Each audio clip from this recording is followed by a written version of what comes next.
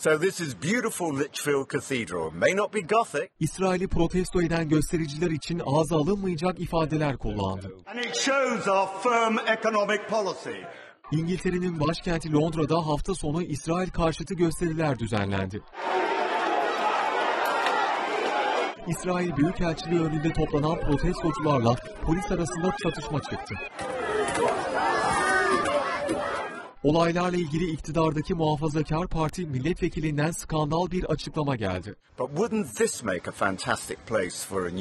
Milletvekili Michael Fabricant sosyal medya hesabından paylaşımda bulundu. Bu ilkeller Orta Doğu'da yaptıklarını Londra'ya taşımaya çalışıyorlar dedi. Muhafazakar vekilin bu açıklaması ırkçılık karşıtı grupların tepkisini çekti. Tepkilerin ardından Fabricant attığı tweet'i sildi.